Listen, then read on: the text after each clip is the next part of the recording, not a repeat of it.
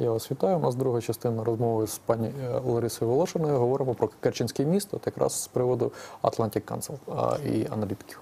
Те, на що звертають увагу американські аналітики, це ем, е, такий, наприклад, е, момент, що е, російські компанії, ну по аналогії, як вони е, будували е, Сочинську олімпіаду, там, наприклад, є така певна вже традиція, що є замовлення від держави на дуже великі гроші. Я хочу нагадати, що Керченський цей міст він ем, обійдеться Росії більше ніж вся Сочинська олімпіада.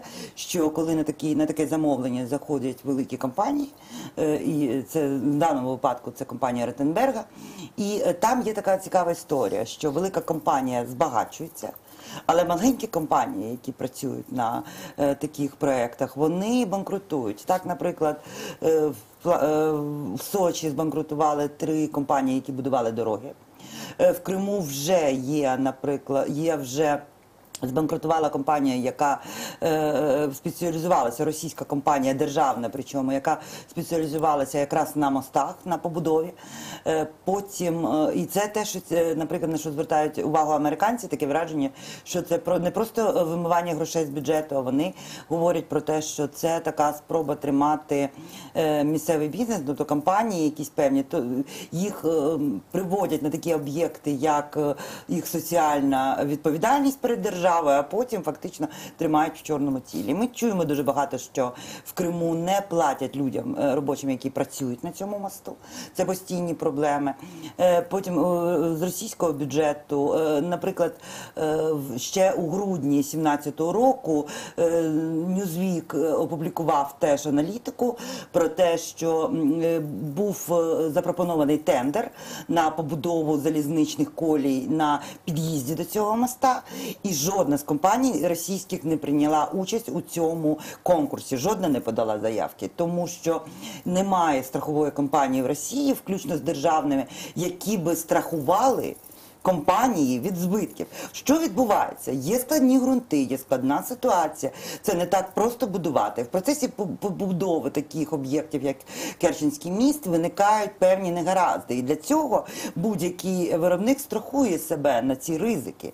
Так от Росія робить замовлення, Росія вимагає від компанії лояльності бу- будувати цей міст як певну таку будівництво сторіччя, але сама Російська Федерація відмовляється страхувати тих, кого вона туди пропонує. Це така цікава історія. Тобто таке складається таке враження, що е, Володимир Путін е, і його адміністрація більше вкладають в рекламу Керченського моста, ніж в саму побудову.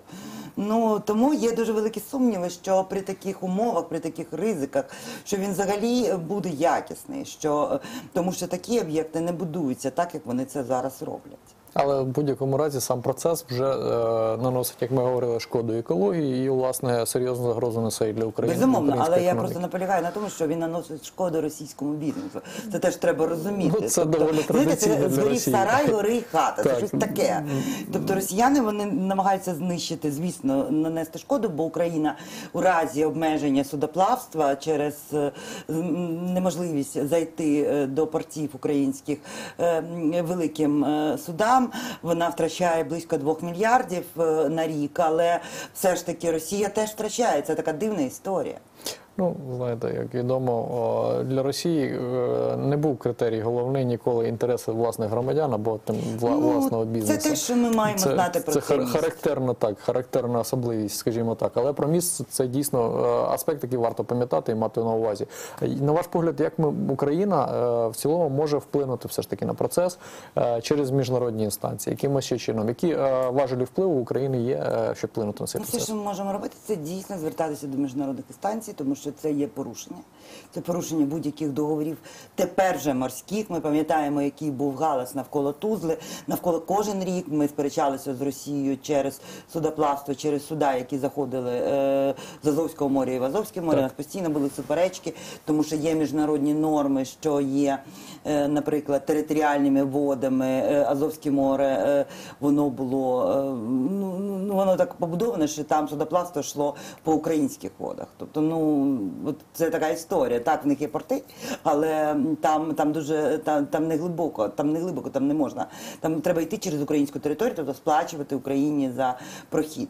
І Росія постійно намагалася якось е, з цим щось робити. Зараз вони просто вже порушили все, що можна. Це морське право. Насправді це піратство, те, що вони роблять. І ми пам'ятаємо реакцію на піратів в світі. Бо в світі є багато конвенцій, які просто намагаються заподіяти е, от у цьому таку хижатству на морі. Тобто Росія, ну це просто деградація подальше вже. Е, яким чином взагалі будівництво, можливо, за вашою інформацією, впливає на мешканців Криму?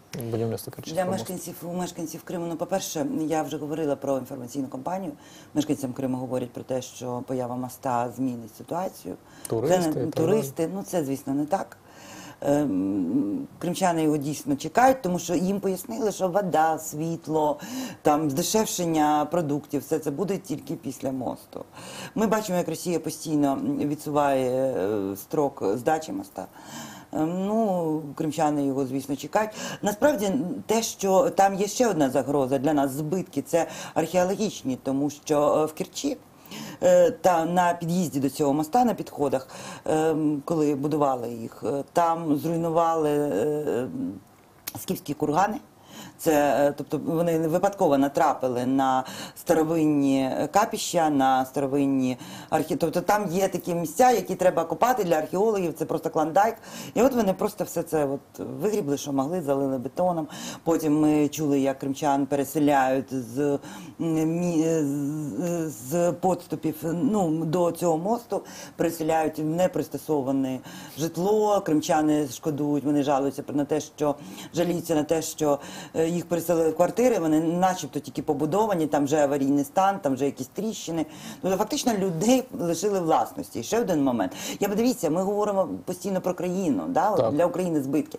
Я би хотіла просто е, акцентувати про те, що це збитки для самих українських громадян кримчан, тому що коли українець мав е, е, житло, він мав якусь ділянку, в нього були документи українські, тобто міжнародно визнані документи власності. Зараз, коли в нього відбирають цю власність, переселяють його в бозна що, що побудували без згоди України, це фактично йому обміняли власність на, на порожнечу. І нам потім доведеться з цим теж щось зробити, тому що.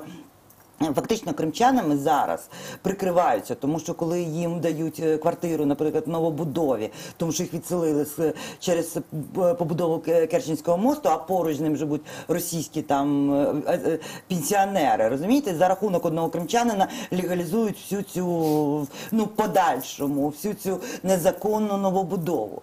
Тобто, ну це ну як Путін обіцяв за, за жінками і дітьми. Ну це фактично шантаж. Тобто, в принципі, можна говорити про те, що ситуація наразі ну, з правами людей е, навіть можливо нема сенсу це озвучувати з одного боку, з іншого боку, про це варто постійно говорити. Кримчани несуть збитки, самі кримчани. Тобто вони мають це зрозуміти. Е, Їм обіцяють туристів, так не буде, тому що для того, щоб дістатися навіть по цьому мосту, треба проїхати курорти Краснодарського краю, Анапу, Сочі. Слухайте, ну, ну, ну будь-яка нормальна людина, вона зупиниться в Сочі нашої далі. Ну, ось, власне, ви е, згадали про пенсіонерів з Росії, яких в тому числі заселяють. Е, Наскільки серйозно змінюється демографічна ситуація в Криму? Штучно я маю на увазі, заселяються люди і виселяються або створюються умови, щоб люди виїздили з Криму. Ця програма вона спрямована. Ми вже насправді нікого немає сумнівів в тому, що ем, вона має ціль, що це не випадковість, тому що там сотні тисяч людей переселені. Е, є програми по всій Росії, е, кредитування, це називається достойна старість програма, е, поліпшення старості, тобто кредитування російських пенсіонерів. Будь-який от українець от розуміє, що таке я маю пенсію і отримати іпотеку, кредит на квартиру. Як Так. це? Тобто пенсіонерам майже не дають. Але російським пенсіонерам дають кредити на купівлю житла в Криму. Е, Причому віддають перевагу військовим пенсіонерам. А кримчанам навпаки. У них відбирають майно, е, повідомлення, три тисячі ділянок під Севастополем відбирається, найкоштовніша земля.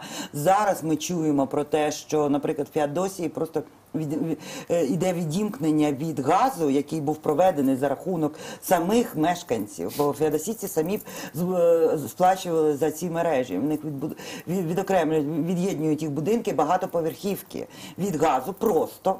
Ну тобто, от просто от є багатоповерхівка, в якої відрубали газ. От уявіть собі історію. Нема, тобто і нема можливості на щось інше. Тобто фактично людей витискають.